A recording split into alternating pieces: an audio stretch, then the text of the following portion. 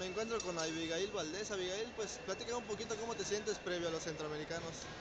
Pues un poco eh, emocionada por lo que vaya a pasar porque pues ya es casa y pues a mí nunca me ha tocado estar en casa y estoy emocionada por lo que vaya a pasar ahorita y yo creo que nos va a ir muy bien a México. Oye, platica un poco desde cuándo estás entrenando para esta competencia.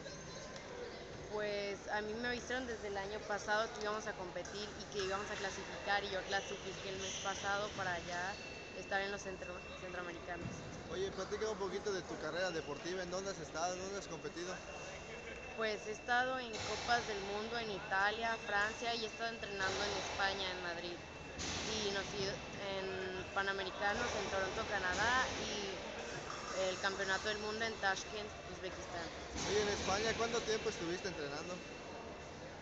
Pues contando todo como dos meses, tres. ¿Y cómo es que fuiste por allá a entrenar?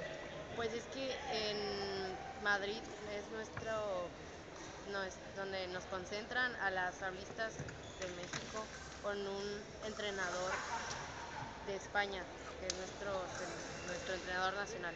Oye, ¿cómo, ¿Cómo te sientes por allá? ¿Qué diferencia hay entrenar en España y México?